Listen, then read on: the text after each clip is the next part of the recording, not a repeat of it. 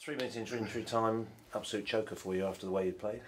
Uh, it was a choker because we'd we'd scored a perfectly good goal that was chalked off, so I was disappointed with that. Um, I was disappointed with the manner of their goal, uh, but I always am.